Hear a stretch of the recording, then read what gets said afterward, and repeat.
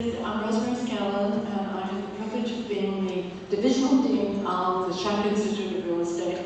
And we're so glad that you are all with us this evening. It's an important evening for us, and we hope for you also. And it's my pleasure to introduce to you my new boss.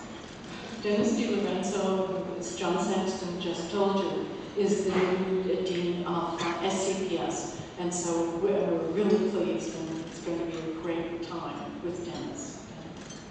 Thank you, Rosemary, and thank you, John, for your kind words. Um, I'm here to welcome you this evening on behalf of SCPS, our students, and our faculty. I promised Rosemary that it won't take too much time because we have a large agenda, and I know many a deal happens at these tables, so we don't want to take up too much of your time.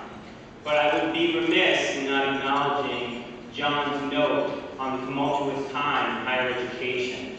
There are many debates going on about theory versus practice and what is more valuable, the creation of knowledge or the application of knowledge.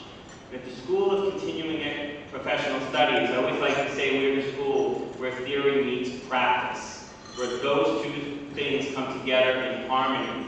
And the reason that we're able to do that is because of our partnership with industry and our partnership with the faculty. And I am proud to have been appointed your dean, and I look forward to continuing that partnership. I thank you for all of your support for the Schack Institute, and the money raised here tonight allow us to continue to do the good work that we do. Looking forward to working with you in the future. Thank you. Um, and now I would like to introduce someone who does not need any introduction, Mr. James Kuhn, who has always been a large supporter of